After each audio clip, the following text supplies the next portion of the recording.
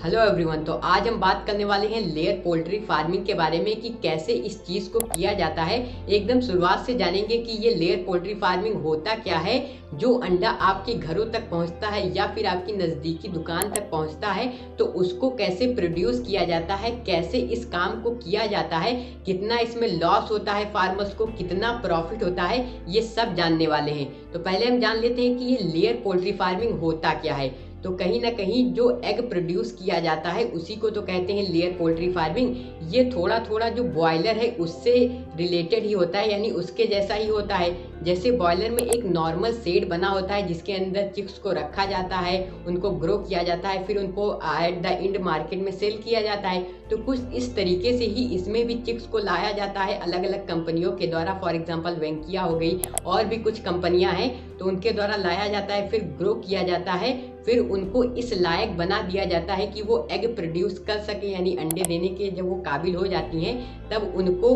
काफ़ी अच्छे से रखा जाता है। उससे पहले भी काफ़ी अच्छे से रखा जाता है। और फिर उनके अंडों को सेल करके एक अच्छा खासा जो फार्मर है, उसको भी प्रॉफिट मिलता है और जो मार्केट की डिमांड है, वो भी कहीं ना कहीं फुलफिल हो जाती है। तो अब आप लोग के मन में एक सवाल उठ रहा होगा कि क्या जो चिकन है, वो हमेशा एग प्रोड्यूस करती रहेगी या फिर उसका एक टाइम पीरियड होता है? तो ये कहीं ना कहीं एकदम सिंपल सा क्वेश्चन है कि वो हमेशा एग प्रोड्यूस नहीं करेगी, उसका भी एक टाइम पीरियड होता है।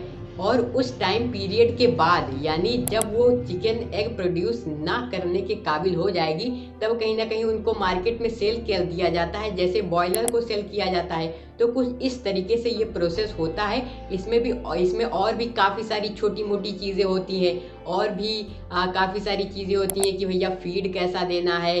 फ़ीड आप प्राइवेट ले रहे हैं या फिर खुद बना रहे हैं? काफ़ी सारी तरीके की मेडिसिन इस्तेमाल की जाती हैं। यानी कहीं ना कहीं ये काफ़ी सेंसिटिव वर्क है।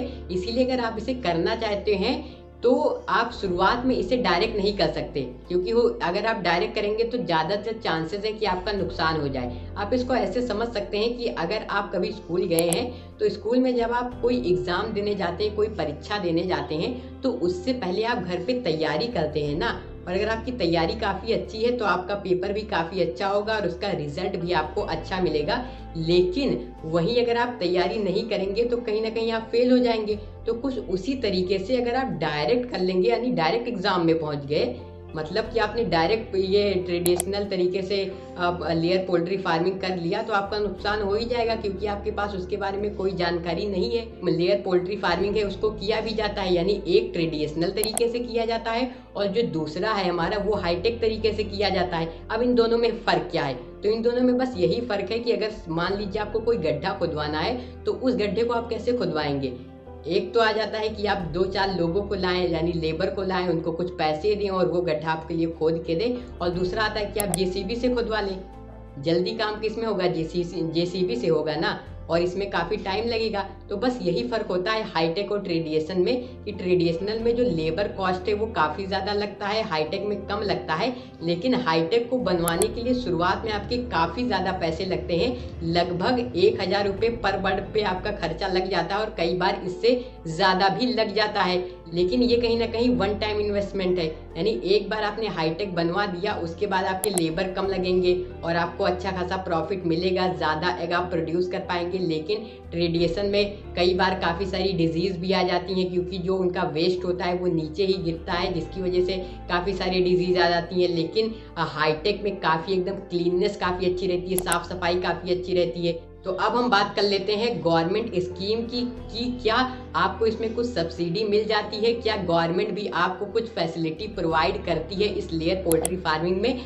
तो हो सकता है जिस राज्य में आप रहते हो, वहाँ पर आपको गवर्नमेंट देती हो या फिर हो सकता है नहीं देती हो, क्योंकि राज्यों के हिसाब से ये डिपेंड करता है तो ये आपके इलाके में गवर्नमेंट आपको सब्सिडी दे रही है कि नहीं? गवर्नमेंट की कोई स्कीम है कि नहीं? ये तो आपको पता करना होगा। तो आप इसे अपने एरिया में कर सकते हैं। तो अब हम बात कर लेते हैं कि आपको मिनिमम कितने चिकन से शुरुआत करनी चाहिए कि आपको फ़ायदा मिले। तो देखिए, जो लेयर पोल्ट्री फ़ार्मिंग होती है, इसमें कहीं ना कहीं काफ़ी ज़्यादा लेबर्स भी लगते हैं और भी काफ़ी सारी चीज़ें होती हैं। इसीलिए आपको कहीं ना कहीं मिनिमम दस हज़ार बर्ड से शुरुआत करनी चाहिए।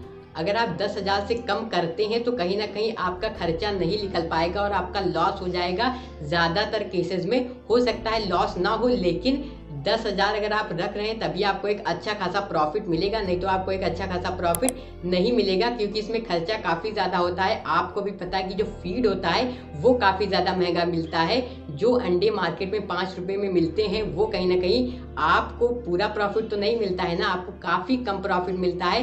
कई बार ऐसा भी हो जाता है कि फ़ीड का प्राइस काफ़ी हाई रहता है और जो अंडे का प्राइस है, वो कम होता है तो आपको इससे लॉस भी होता रहता है। यानी कि फ़ीड महँगा है, अंडे सस्ते हैं तो आपको इसमें कई बार ऐसा हो जाता है कि इस फ़ार्मिंग में आपको फ़ायदा ही नहीं मिलता है, आप लॉस में चलते हैं, कई बार इसमें काफ़ी ज़्यादा फ़ायदा मिलता है।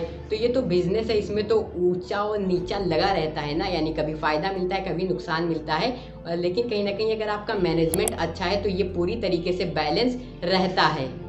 तो अब हम बात कर लेते हैं कि क्या ये एक प्रॉफिटेबल बिज़नेस है? तो जैसा कि मैंने आपको पहले ही बताया कि अगर आपके पास एक अच्छा खासा एक्सपीरियंस है, एक अच्छा खासा ज्ञान है इस फ़ार्मिंग को लेके, तभी आप इसे कीजिए, क्योंकि इसमें बहुत सारी छोटी छोटी चीज़ें होती हैं, कहीं ना कहीं काफ़ी सेंसिटिव वर्क होता है। तो इसीलिए अगर आप इसे करना चाहते हैं तो पहले पूरी जानकारी इकट्ठा कीजिए, उसके बाद ही इन्वेस्टमेंट कीजिए, क्योंकि दस हज़ार का अगर आप मिनिमम बनवा रहे हैं तो उसमें आपका काफ़ी ज़्यादा खर्चा लग जाता है। इसीलिए एकदम ध्यान से कीजिए कि आपको कोई भी नुकसान ना हो।